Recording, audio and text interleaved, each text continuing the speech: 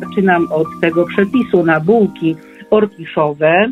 Y, To są takie rzeczywiście na kanapkę, którą za chwilę dzieciom można przygotować y, i podać do szkoły, ale też do naszej pracy, gdzieś nasze wyjście, czy po upieczeniu bardzo szybko jestem przekonana znikną y, w domu, bo, bo będą bardzo pachnące i takie, no, będą kusiły, żeby natychmiast je tam spożywać. Podaję wobec tego przepis.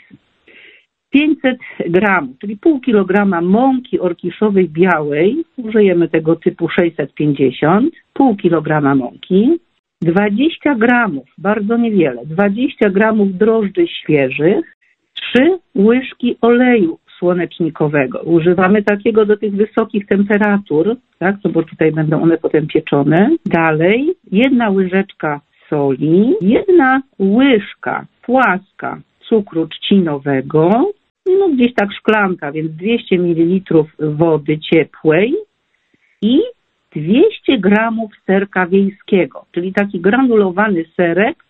To wszystko jest, to wszystko jest nam potrzebne do tego, żeby przygotować bułki. Jak y, wygląda przygotowanie? Należy przygotować najpierw tak zwany zaczyn. Wobec tego w niewielkim naczyniu y, rozdrabniamy drożdże, 20 gramów drożdży, przypominam, dodajemy y, nasz cukier trzcinowy, tam była płaska łyżka cukru trzcinowego, dodajemy jedną łyżkę mąki i troszeczkę ciepłej wody. To będzie 2-3 łyżki, ile nam tam potrzeba, żeby połączyć wszystkie składniki.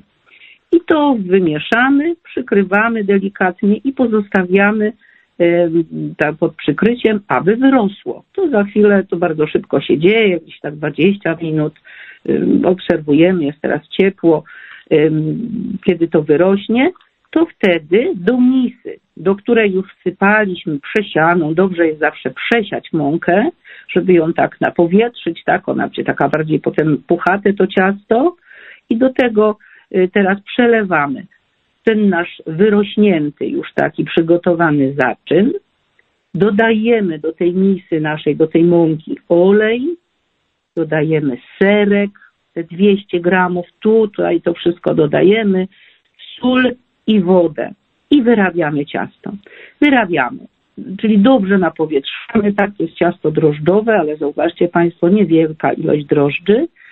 I wyrabiamy, jest już wyrobione, ono jest gładkie, takie elastyczne, tak, przykrywamy bawełnianą ściereczką i pozostawiamy, aby odpoczęło, aby wyrosło. Y, Potrzeba na to około godziny, tak, przykrywamy.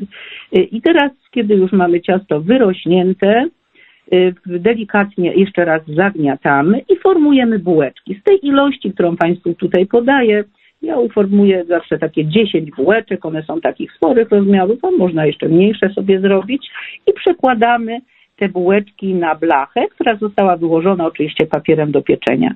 I ponownie przykrywamy bułeczki, żeby one y, znowu wyrosły. Teraz już wystarczy gdzieś z pół godziny, jest zawsze mniejsza powierzchnia teraz do tego, żeby rosła, więc to się dzieje już teraz szybciej, a w tym czasie należy rozgrzać piekarnik.